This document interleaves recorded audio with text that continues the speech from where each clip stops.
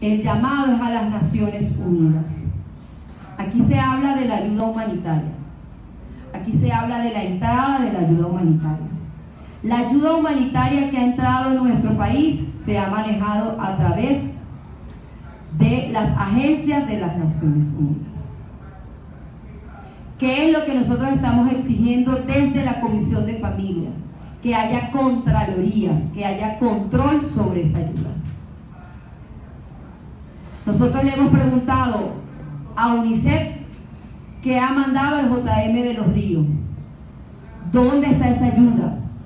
Y si aquí yo tengo, volvemos a repetir, dos bolívares, tres bolívares para ayuda humanitaria, que es la prioridad para ti, como, como Naciones Unidas, reúnete con la gente que hoy está padeciendo esa emergencia humanitaria.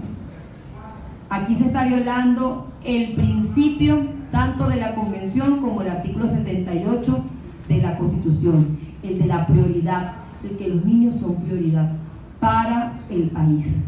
No son prioridades ni para el país y tampoco son prioridades para las Naciones Unidas, porque vemos como nuestros niños hoy, de simples cosas, como un examen de sangre, a cosas importantes como 500 niños solos en Perú, 700 niños solos en Colombia. Nosotros queremos saber el estado de nuestros